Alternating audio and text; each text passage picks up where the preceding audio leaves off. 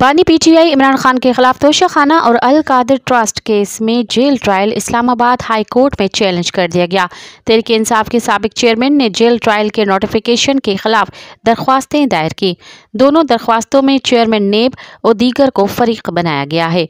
बानी पीटीआई की दरख्वास्त में कहा गया है कि अलकादर ट्रस्ट केस में चौदह नवंबर और तोशा खाना केस में अट्ठाईस नवंबर को ट्रायल का नोटिफिकेशन जारी हुआ। जेल ट्रायल नोटिफिकेशन में गैर कानूनी और बदनीयती पर मबनी है। बानी पीटीआई ने अदालत से इस्तः की है कि ट्रायल के नोटिफिकेशन को कल अदम करार दिया जाए और इस दरख्वास्त के जेर अल्तवा रहने तक ट्रायल कोर्ट की कार्रवाई को रोका जाए।